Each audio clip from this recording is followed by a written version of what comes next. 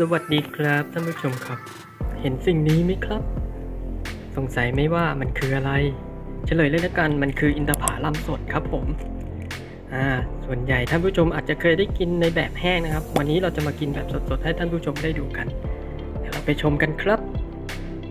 ก็ได้มาแล้วนะอินทผลัมสด เดี๋ยวเราจะลองชิมเลยนะครับ เป็นครั้งแรก อืมโอ้ กัดสัมผัสแรกรสชาติเหมือนพุทรานะครับ ไม่ใช่รสชาติดิเนื้อสัมผัสเหมือนพุทราจีนนะครับแล้วก็มีรสฝาดน้ำมาเลย แล้วนี่ก็หวานขึ้นเลยอะ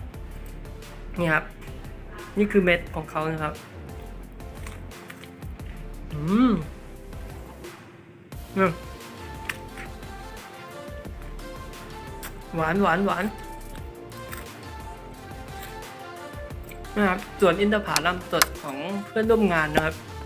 ก็ รสชาติใช้ได้เลยครับ อร่อยเลยทีเดียวเชียวนะครับเมื่อวันก่อนเห็นออกข่าวนะครับคนเอาอินทผลัมสดเนี่ยครับไปตำส้มนะครับ ก็ใช้ได้เลยรสชาติเยี่ยม เดี๋ยวดูกันใกล้ๆนะครับ ลักษณะเป็นไง อินทผลัมจัดอยู่ในวงปาล์มขยายพันธุ์ด้วยวิธีการใช้เมล็ดและการแยกหน่อ มีลักษณะเป็นผลทรงกลมรี ออกเป็นช่อๆ มีรสหวานฉ่ำ สามารถรับประทานได้ทั้งผลดิบและผลสุก ลอินทผลัมนั้น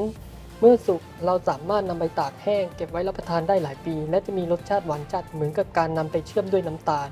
ประโยชน์ของอินทผลัมช่วยบำรุงร่างกายเพิ่มกำลังบำรุงกระดูกและฟันให้แข็งแรงบำรุงสายตา แก้กระหาย แก้อาการเจ็บคอช่วยป้องกันอาการท้องผูกได้ และที่สำคัญช่วยเพิ่มสมรรถภาพทางเพศในเพศชายด้วยว้าวดูภาพตัดขวางของผลอินทผลัมกันนะครับ เป็นอินทผลัมสดนะครับ